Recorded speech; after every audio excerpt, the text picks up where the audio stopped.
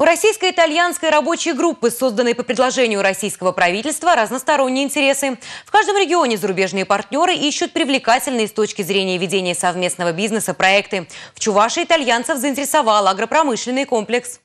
Не прошло и трех месяцев со времени последней встречи членов российско-итальянской рабочей группы с представителями нашей республики. И вот новый визит. На этот раз гости проявили вполне предметный интерес к аграрному сектору. Наш главный ресурс – это люди. Мы любим трудиться на земле, отметил глава республики Михаил Игнатьев. Натуральные, выращенные в экологически чистых районах Чувашии, молочные и мясные продукты широко известны в регионах России.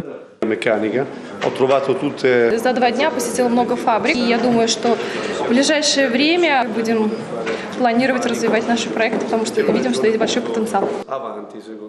Стефано Бандеки отметил чувашское гостеприимство. Он пообещал обязательно к нам вернуться еще раз, но уже с конкретными бизнес-инициативами.